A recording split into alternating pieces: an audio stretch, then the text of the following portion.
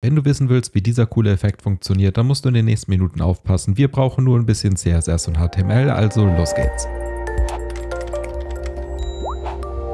So und los geht's wie immer mit meinem Setup. Hier seht ihr Visual Studio Code, hier seht ihr Chrome mit der Live Preview und all diese Dateien hier in der Seite ist mein Standard Setup. Das ist unten in der Videobeschreibung verlinkt, wo ich in einem Video erkläre, wie das alles funktioniert und warum es so aussieht, wie es aussieht. Wir brauchen heute kein JavaScript, das benutzen wir also nicht. Wir haben allerdings ein leeres Style.scss und ein paar Presets. Diese Presets, die hier drin sind, beschreiben eigentlich nur meine Farbcodes, eine Schrift und so weiter und das alles, was ich zeige, hier in der Mitte zentriert wird. Das ist in jedem meiner Videos gleich. Das, was wir für diesen Effekt brauchen, ist quasi noch komplett leer. Auch unser HTML-Teil ist noch komplett leer, also hier steht noch nichts, was wir für dieses Video brauchen und wir legen jetzt erstmal los zu überlegen, wie so ein Effekt eigentlich funktioniert und wie wir uns Step by Step diesem Effekt annähern können.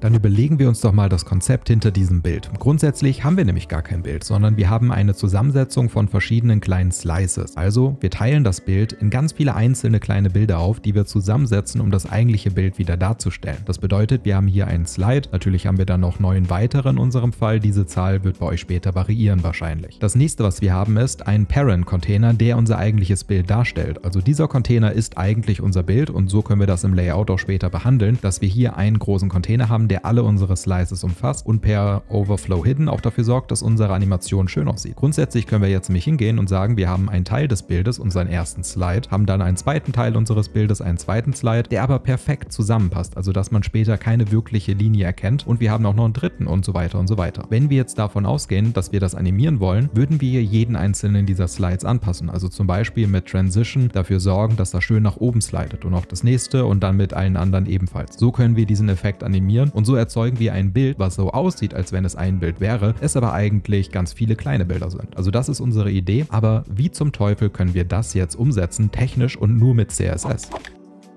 So, los geht's als erstes mit einem ja, Grundgerüst, das wir für dieses Video brauchen. Als erstes erzeuge ich mir hierfür einen Div-Container mit der Klasse Image Animation. Das ist sozusagen mein Wrapper und hier drin erzeuge ich mir jetzt weitere Div-Container mit der Klasse Image-Cut. Davon erzeuge ich mir 10 Stück und diese 10 Container brauchen jetzt jeweils für uns noch eine Nummer, die wir eindeutig nutzen können, um diesen Container zu identifizieren. Deswegen mache ich hier hinten noch eine zweite Klasse dran mit minus 1, 2, 3, 4 bis 10. Hier könnt ihr natürlich unterschiedlich viele Div-Container verwenden. Ihr müsst dann nur später im CSS-Part die Zahl anpassen. Ich nutze 10, ihr könnt aber auch hier 5, 100, was auch immer nutzen. Wichtig ist nur, dass ihr hier quasi die Zahlen mit dem, was im CSS gleich kommt, gleich haltet. Aber so können wir erstmal loslegen.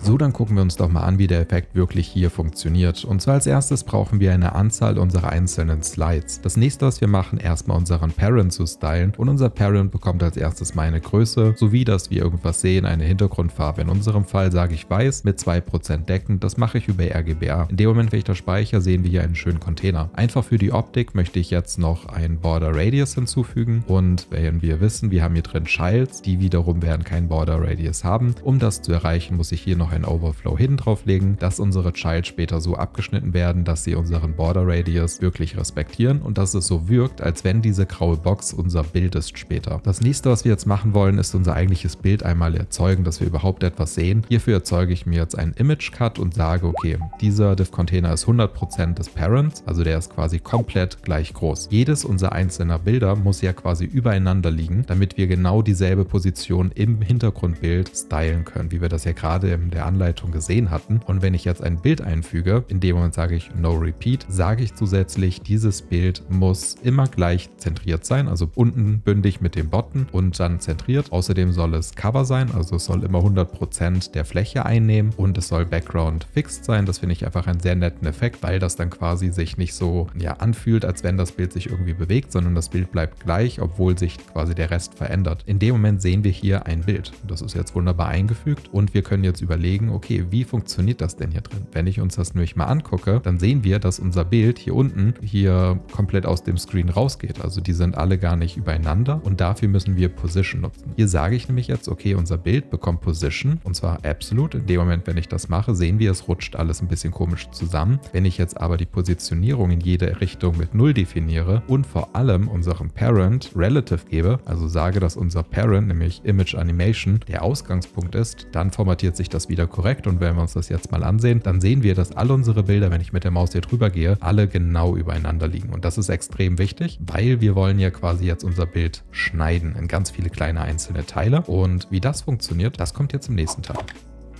Um das nur mit CSS zu lösen, müssen wir nämlich ein bisschen um die Ecke denken. Wir haben hier unseren Slide. Unser Slide umfasst aber eigentlich 100% des Bildes und man muss sich das so vorstellen, dass wir einen Div-Container haben. Dieser Div-Container hat eine Klasse ImageCut. ImageCut hat wiederum ein Hintergrundbild, das ist unser schönes japanisches Bild und der Div-Container ist genauso groß wie das Bild oder so groß wie halt unser Wrapper das vorgibt. Grundsätzlich können wir jetzt hingehen und sagen, dieses Bild zeigen wir jetzt eigentlich gar nicht komplett an. Also wir schneiden das Hintergrundbild, nicht den Div-Container an sich, sondern nur das Hintergrundbild Bild ab. Das heißt, wir zeigen nur diesen kleinen vorderen Teil. Der Div-Container Image Cut ist aber weiterhin so groß wie das gesamte Bild. Das bedeutet für uns, dass wenn wir mehrere Slides haben, wir eigentlich einen Div-Container übereinander stapeln. Also wir nehmen zwei Div-Container, wo jeweils nur ein kleiner Teil zu sehen ist, die, wenn man die alle übereinander lagert, aber genau das passende Bild ergeben. Und das werden wir jetzt mit CSS bauen und ja, dafür nutzen wir ein paar richtig coole Attribute.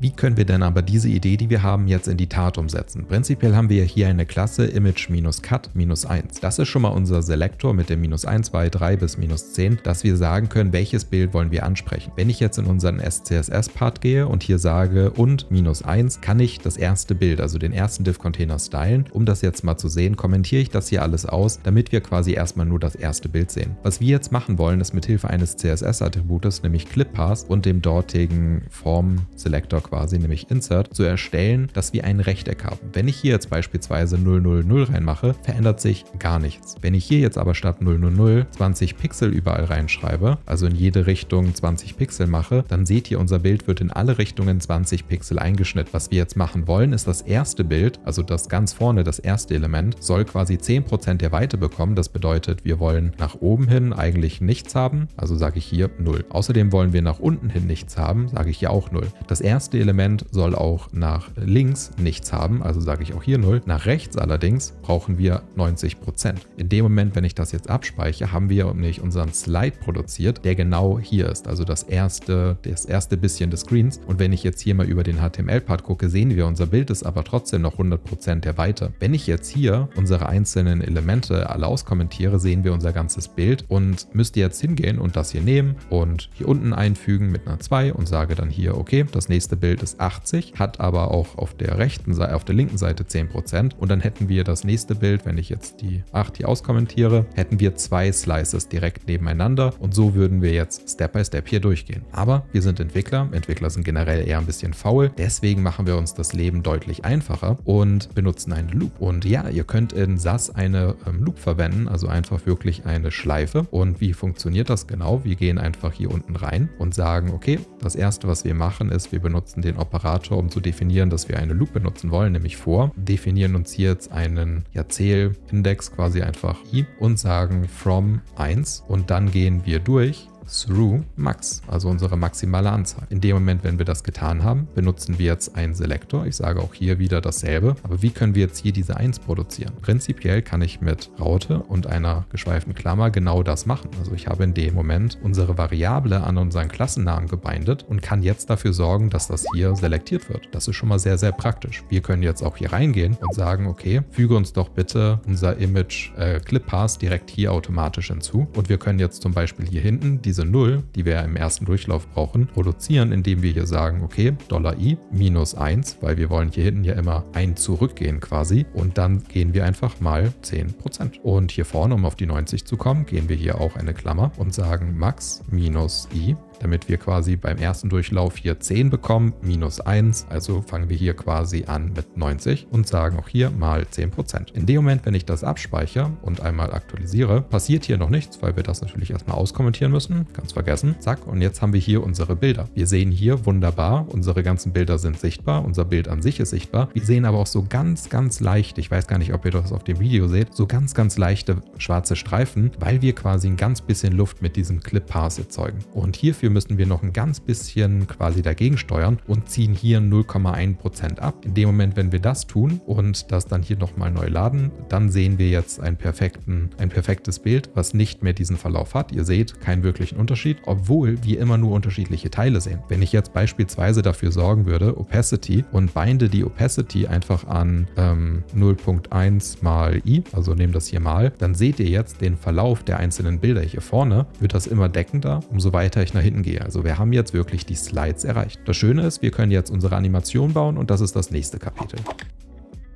So, los geht's mit dem spannenden Part und zwar der Animation. Wir wollen als erstes sagen, hier oben eine Animation bitte. Unsere Animation heißt einfach Slices und die geht 150 Millisek 1250 Millisekunden, benutzt Ease In und Ease Out und soll am letzten Frame stehen bleiben. Das sagen wir hier mit diesem Forwards. Das nächste, was wir machen, ist, wir benutzen ein CSS-Attribut, nämlich Keyframes und sagen hier, wir würden gerne die Animation, in unserem Fall die Animation Slices erstellen. Die hat zwei Keyframes, einmal 0% und natürlich einmal 100%. So was passiert bei 0%. Als erstes sagen wir hier einfach mal Opacity startet bei 0 und endet bei 100, also bei 100% Deckkraft und unsere Elemente sind standardmäßig gar nicht sichtbar. Wenn ich das hier abspeichere, seht ihr, hat wunderbar geklappt, wurde alles animiert. Allerdings nicht mit diesem schönen durchlaufenden Effekt. Dafür brauchen wir ein anderes Attribut, nämlich Animation Delay. Und da das auch abhängig zu unserem Element sein muss, sage ich hier unseren Index, also $i, mal 100 Millisekunden, also für jedes weitere Element fügen wir 100 Millisekunden Millisekunden in den Delay hinzu und so erzeugen wir so eine Staggering Animation. Was jetzt aber das Problem ist, wir sind hier in HTML. Diese Elemente werden gerendert durch HTML und überlagern sich gerade in genau der falschen Reihenfolge. Wir wollen das ändern, dazu benutzen wir Z-Index und sagen, dass Max, also unsere 10 am Anfang, minus am Anfang halt hier 1, bedeutet, unser erstes Element bekommt auch unsere höchste Z-Index-Stufe, womit es quasi die anderen Elemente überlagert und nicht im Hintergrund ist. Wenn ich das jetzt abspeichere und aktualisiere, sehen wir, dass unsere Animation deutlich flüssiger und besser funktioniert. Das nächste, was wir jetzt noch brauchen, um das wirklich zu perfektionieren, ist noch den Slice nach unten. Hierfür benutzen wir ein weiteres CSS-Attribut, nämlich in unserem Fall Transform und hier Translate. Hier sagen wir in dem Fall auf der Achse 0 und hier oben machen wir minus 100%. In dem Moment, wenn ich das jetzt abspeichere, wird erstmal nichts passieren, weil ich hier unten noch das hinzufügen muss, dass wir hier gerne 0 hätten. In dem Moment, wenn ich das jetzt so habe und aktualisiere, slidet von oben unser einzelnes Element rein, so wie es kommt und damit haben wir schon richtig schöne Animationen Animation gebaut. Was wir aber auch machen können, ist damit rumspielen. Ihr könnt sagen, dass das von links nach rechts kommt. Ihr könnt auch hier sowas benutzen wie beispielsweise Scale und kommt hier von 0 und formatiert das dann hier unten zu 1. Und in dem Moment kann ich sagen, wenn ich jetzt aktualisiere, rutscht das so von oben nach unten und der Effekt hat sich noch ein bisschen verändert. Wir können auch diesen Effekt hier komplett rausschmeißen und nur mit Scale arbeiten, das aktualisieren. Dann seht ihr, dass es in einer ganz anderen Animation ja, abläuft und passiert. Außerdem können wir auch sowas einbauen wie Rotate, wo wir zum Beispiel sagen 25 Degree und hier unten sagen wir 0, sodass es dann quasi wieder komplett zurückgesetzt wird. Also euch sind hier nicht wirklich Grenzen gesetzt, wie ihr diesen Effekt editieren wollt. Ihr könnt es mit jedem Bild machen. Ihr könnt quasi ja das Bild hier oben austauschen und mit jedem Bild machen. Ihr könnt es automatisch mit JavaScript sogar generieren. Also ihr könntet beispielsweise ein normales Bild nehmen und das ersetzen durch unser HTML-Konstrukt, sodass man auch ein normales Bild einfach im Nachhinein mit JavaScript automatisieren kann. Aber prinzipiell ist das ein richtig cooler CSS-Effekt. Schreibt doch mal in die Videokommentare, was ihr davon haltet.